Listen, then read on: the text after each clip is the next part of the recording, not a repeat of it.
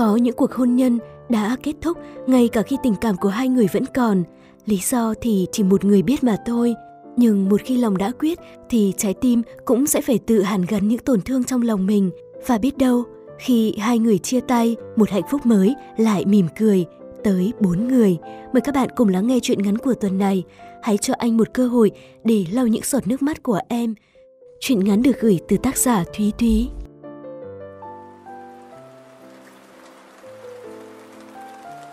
Bước ra từ cổng tòa án, cô và anh lặng lẽ đi song song như không nói gì. Những giọt mưa nặng nề rơi, càng làm bầu không khí thêm phiền muộn. Anh... Cô mở lời, đi uống chút cà phê nhé. Không thấy anh trả lời, cô càng thêm ấp úng. Biết đâu hôm nay là lần cuối mình gặp nhau, không có duyên làm vợ chồng, thì mình vẫn là bạn bè mà, cuối tuần em bay rồi. Cô cúi đầu, mang theo một tia cười khổ cùng bất lực. Trong chiều mưa phiêu tán, đi bên cạnh, anh chỉ trầm ngâm, đôi mắt thâm quầng. Giờ khắc này, bên tai anh chỉ có tiếng mưa rơi. Buông cái ô trong tay xuống, cô đứng yên không bước. Gia Mộc ngồi đi, lần cuối vậy. Cuối cùng anh cũng trả lời. Hai người ngồi trong quán cà phê cũ, cảnh còn, người còn mà chẳng như xưa. Anh không hiểu Linh ạ, à, tại sao đến tình cảnh này?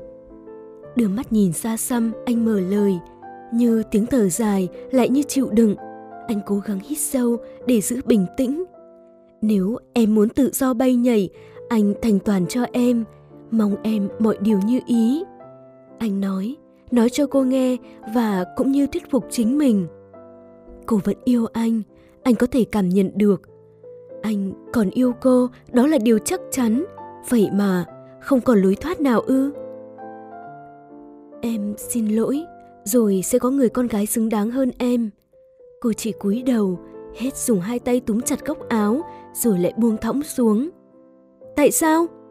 Anh hỏi cô và cũng tự hỏi mình. Anh không hiểu tại sao hôn nhân của họ lại đi vào ngõ cụt và phải giải quyết theo hướng này. Yêu nhau ba năm lấy nhau vừa tròn 8 tháng. Cô bảo cô tiếp tục muốn học, muốn đi tu nghiệp, anh sẵn sàng đồng ý. Khi cô xin học bổng bên Pháp, anh để cô đi dù biết trước cô đã hy sinh cả đứa con chưa có hình hài của hai người. Người khác lấy vợ thế nào, anh không biết, nhưng với anh, bởi thương nên không níu giữ.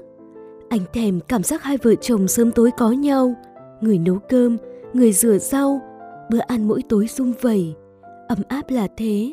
Còn anh lấy vợ là chuỗi ngày dài chán nản, chán đến chẳng buồn về.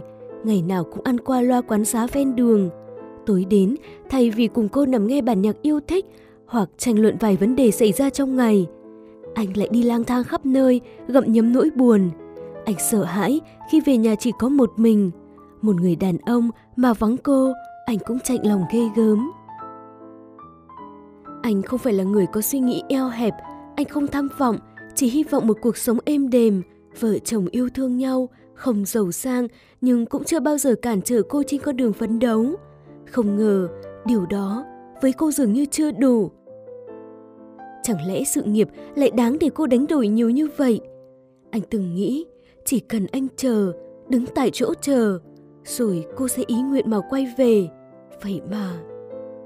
Ngày hôm ấy, cũng như mọi lần, cuối tuần anh về sớm và nhớ cô, chờ cô người đang cách anh sáu múi giờ, đến quá nửa đêm để trò chuyện. Cả tháng trời không nghe tiếng cô, vài bờ sống không tốt, cứ nói vài ba câu thì lại tiếng gọi nhau. Sống kém vậy mà nguyên câu cô nói, anh đã nghe rõ, không sót một chữ nào. Anh, em muốn ở lại bên này. Thầy cô đánh giá cao năng lực của em mà mọi thứ đều rất tốt. Em không muốn về. Hãy tha thứ cho em, anh nhé. Chẳng biết máy đã cúp từ bao giờ. Thẫn thờ, anh nhặt chiếc điện thoại dưới đất lên, lặng lẽ nhắn tin cho cô. Sóng kém, anh không nghe em nói gì cả. Giải thoát cho em anh nhé, em xin lỗi. Tại sao anh có thể chờ mà? Em xin lỗi cho anh thời gian suy nghĩ. Những ngày sau đó, anh không rõ trôi qua thế nào, chỉ nhớ là đầu thuốc lập lẻ trong đêm. Anh nhớ cô, chỉ muốn xin nghỉ rồi bay qua gặp cô một lần để hỏi cô tại sao. Dù không muốn, nhưng anh biết mình không còn cách nào khác. Anh vốn tôn trọng cô, mà cô rất có chính kiến của riêng mình. Giờ cô muốn buông tay, dù anh có níu kéo, cố giữ, cố dối lòng mọi thứ vẫn vẹn nguyên, nhưng đoạn tình này đã không còn trọn vẹn. Một chút tình cảm lưu luyến chẳng đủ sức để níu cô trở về. Đàn ông không được khóc, nhưng đêm nào cũng ngước nhìn trần nhà, ném cảm xúc vào tim, anh cảm thấy mình yếu đuối. Khi cô đi, anh không ngăn cản, khi cô muốn chia tay, đã không ngăn cản được, còn muốn suy nghĩ gì. Nhìn căn nhà nhỏ tự tay cô trang trí, anh nhớ những ngày còn bên nhau, càng nhìn lại càng đau. Bản thân em có còn nhớ không? Anh cố làm quen với cuộc sống không có cô. Hàng ngày đi làm, hết làm rồi lại lang thang. Anh không dám vào mạng, anh sợ mỗi khi lướt qua Facebook lại gặp hình ảnh của cô, sợ nhìn thấy những cái ảnh cưới hai người ngày xưa.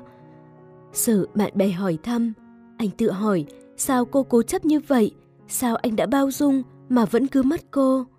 Thời gian lại tiếp tục trôi, chỉ là chia tay, anh đã biết được sự cô độc đôi khi lại rất thanh thản.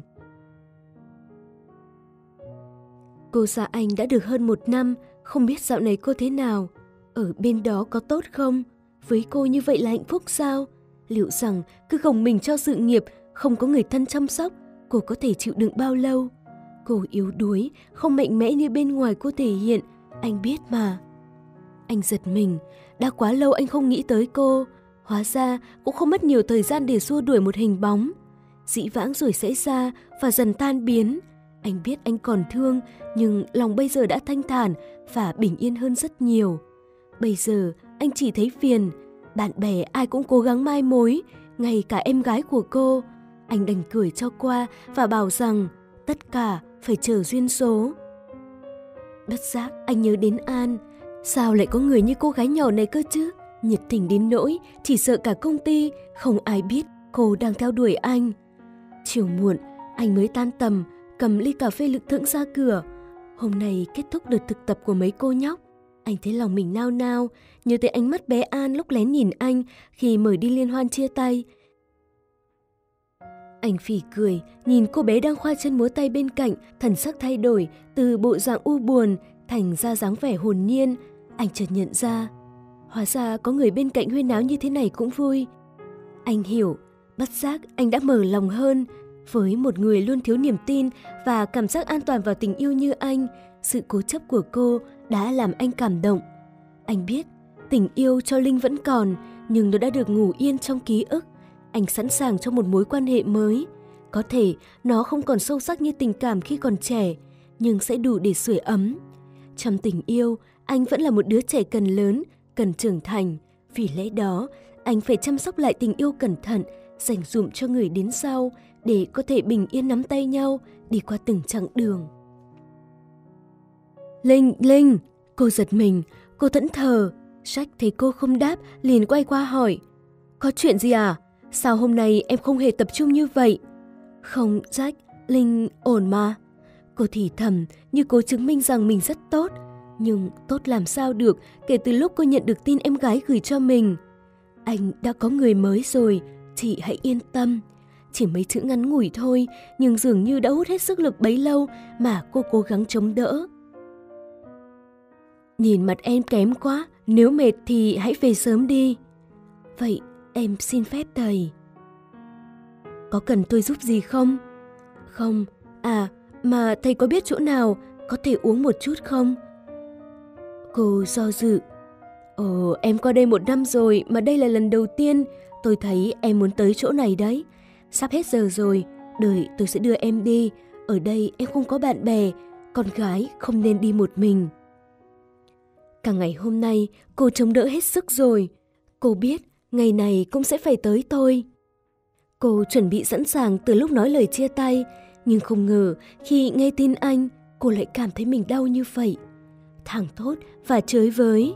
Anh có người mới thì cô nên vui vẻ mới đúng. Nhưng sao cái tin nhắn đó cứ bóp nghẹt trái tim khiến cô không thể thở nổi. Cô chỉ muốn uống chút gì đó để quên đi tất cả. Linh, không nên uống như vậy. Thấy cô đưa cả ly rượu vào miệng, Jack lắc đầu. Dù đó có là xăm panh nhẹ, huống chi đây là cô nhóc, loại rượu dễ ngấm, dễ làm người ta say.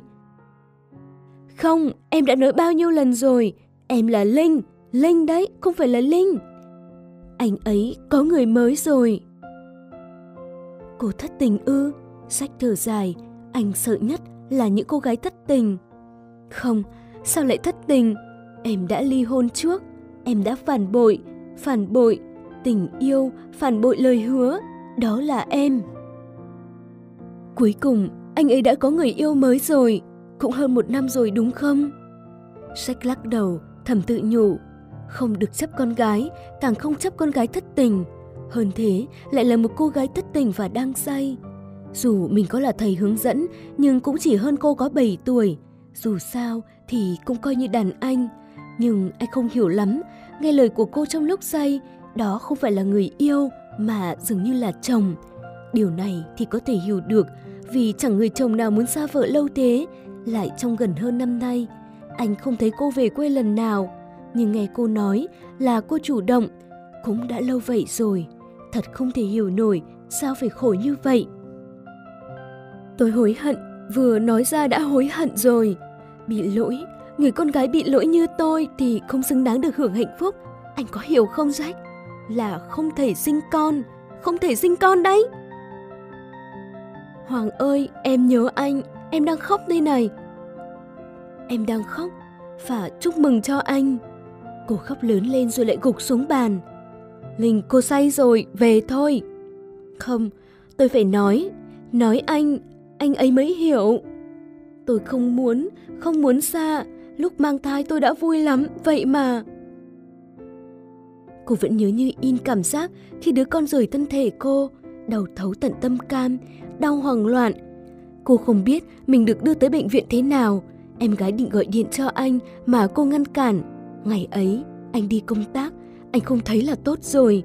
Cô chẳng hiểu bác sĩ nói gì mà tử cung có vách ngăn, phát hiện u sơ nằm dài rác và cuối cùng lại thành ra thân thể cô khó mà có con, cô nên đi khám để điều trị. Và đúng đợt ấy có thư của trường bên Pháp bảo cô có học bổng, giúp cô quyết định sắp xếp tất cả, chỉ yêu cầu em gái không được nói với anh. Linh, tôi biết cô đang đau lòng nhưng hãy về đi. Không, tôi nói, bây giờ tôi mới có can đảm nói, nói cho anh ấy biết. Cô khóc giống như một đứa trẻ. Anh à, em xin lỗi, em đã không dám để anh biết tất cả. Thả để anh nghĩ rằng em ham công danh sự nghiệp, em sống bận bịu để anh yên lòng mà buông tay. Anh biết không, từ ngày qua đây, mỗi lần gọi điện về em lại khóc, không thể thường xuyên được gặp, không có những chiều hai đứa cùng đi chợ, rồi về nấu nướng. Những ngày ấy, sao em đủ can đảm để bước đi như vậy? Những tin nhắn dài đằng đẵng mà khi mở mạng, nó cứ hiện lên trên màn hình. Những lúc như vậy, nước mắt tự nhiên trào ra, đành nén tiếng thở dài trôi tuột vào cổ họng để xua đi những hờn dỗi đang trồng chéo. Có ai mà không buồn được. Ngay cả nói chuyện bình thường cũng khó khăn. Khi sang đây mọi thứ thật khác, cô giận mình sao lại cứ muốn tự chịu đựng tất cả một mình. Đành lao vào học đến mức không kịp cả cho những thương nhớ. Cô giận lây anh sao đã không nắm chắc bàn tay cô và níu giữ cô ở lại. Rồi cô nhớ anh, không biết ở nhà như thế nào, công việc ra sao. Đôi khi cô lại cảm thấy mình may mắn, không vì lúc yếu lòng mà nói hết với anh. Nhưng cô vẫn không an tâm nơi anh, sức khỏe, ốm đau đi lại, nếu như vất vả quá, anh đổ bệnh thì sao? Lại tự chăm sóc lấy mình để bệnh đến rồi tự khắc đi. Cuối cùng cô đành nhờ em gái hãy để ý đến tình hình của anh tới lúc anh có người chăm sóc giúp cô. Bao đêm cô khóc, bao đêm chỉ một mình, khó khăn lắm cô mới hạ được quyết tâm. Cô gọi điện thông báo chia tay. Khi ở bên giường, sau cuộc phẫu thuật cắt bỏ đi một phần cơ thể, cô không cho bố mẹ qua, chỉ mỗi người em gái sang chăm sóc. Gọi điện cho anh xong, cô ngồi ôm gối khóc, em gái ôm cô nức nở. May mắn thay, ở đây mọi thứ đều ổn. Ăn vội, ngủ vội, nghĩ đến anh cũng vội. Như thế mới giúp cô can đảm nói lời chia tay. Hồi ức giống như một giấc mơ, làm người ta say mê đến khó có thể tự kiềm chế. Cho nên, lần thứ hai mở mắt, còn không rõ ràng lắm là mình đang ở đâu, chỉ thấy mông lung khó chịu, nhưng có một bàn tay đang vỗ về, hình như anh. Cô khẽ nghiêng người và an tâm ngủ. Jack nhìn người con gái khóc rồi nằm ngủ trên bàn, đành nhận mệnh bế cô ra về. Làm trò cười ở quán này đủ rồi, mong sao cô có thể ngoan ngoãn ngủ yên, không quậy nữa. Không ngờ cô gái Á Đông nhỏ bé này lại mang trong mình một nỗi đau lớn như vậy. Anh cũng chỉ loáng thoáng hiểu rằng cô vẫn còn yêu người chồng cũ vì lý do con cái mà đành chia tay. Giờ biết người ta có người yêu mới đã không thể chịu đựng nổi mới mượn rượu say để nói thay lòng mình. Đúng là cô gái đã yêu sao còn nỡ buông tay, mà đã chia tay thì là hết, dù đã từng thật lòng yêu nhau thì sao? Còn nhung nhớ, còn yêu thì cũng chỉ để đó, chỉ là hoài niệm mà thôi. Lau đi những giọt nước mắt lan dài trên má cô, anh thấy đau lòng. Phải một người như thế nào mới có thể khiến cô yêu mà đau lòng như vậy? Anh bỗng nhớ lại lần đầu tiên gặp cô, một buổi giới thiệu các học viên mới, lúc nào cô cũng cười. Giờ thì anh đã hiểu cái cảm giác tại sao cô cười, nhưng anh vẫn cảm thấy một nỗi buồn man mác không nói được. Hóa ra là khóe miệng cô cười, nhưng nụ cười không tới được đáy mắt. Vươn tay xóa lên khóe mắt cô, anh khẽ tự nhủ. Linh, hãy cho anh một cơ hội để lau giọt nước mắt của em. Hạ cửa kính xe để gió lùa vào, xoa hương rượu cho bớt nồng. Nhìn đèn đường leo lét sáng, Jack tự nhủ. Sau cơn mưa lại có cầu vồng, phải không Linh? Anh sẽ làm chỗ dựa cho em bước tiếp, dù anh biết khó khăn thế nào.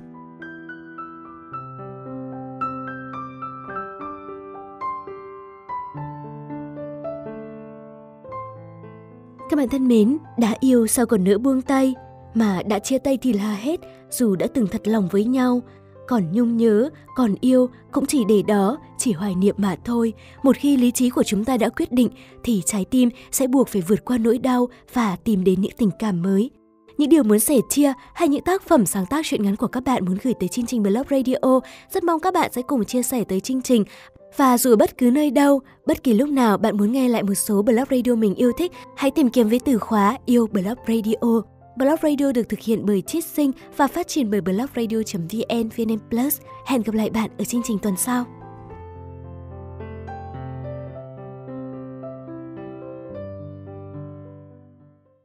Nếu yêu thích Blog Radio, các bạn đừng quên nhấn like, share cũng như để lại bình luận cảm nhận của mình nhé. Mời bạn gửi những sáng tác tâm sự của mình đến chương trình bằng cách truy cập vào website blogradio.vn, đăng nhập và gửi bài hoặc gửi tới địa chỉ email blogradio.vnplus.vn. Các chương trình sẽ được cập nhật và phát tại chuyên trang cũng như kênh youtube Blog Radio. Đừng quên nhấn đăng ký và nhận thông báo để không bỏ lỡ những video mới nhất nhé. Blog Radio phát thanh xúc cảm của bạn.